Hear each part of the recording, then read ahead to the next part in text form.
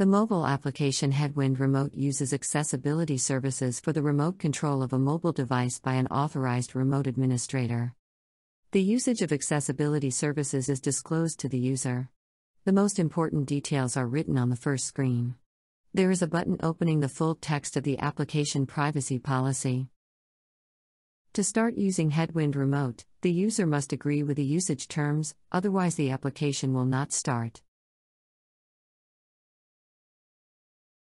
At first start, there is a help screen explaining how to turn on the accessibility services, because the flow is not straightforward and includes several actions.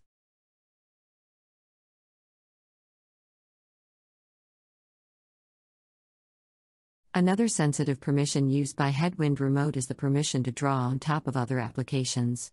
This permission enables the application to display a flashing dot during the remote control session, which generates the network traffic required by the screencast engine, as well as notifies the user that his device is remotely controlled.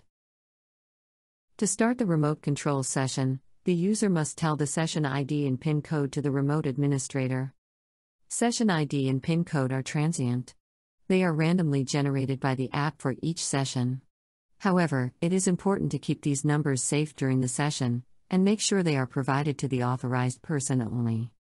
To start the remote control, you must confirm your intention to begin screencasting. Remote Administrator gets the contents of the mobile device in his browser, and he is able to perform various gestures, such as tap and swipe. Also, he can type the text and press the control buttons. Headwind Remote uses the UDP network protocol for the remote control. This makes the communication very fast even on slow mobile networks.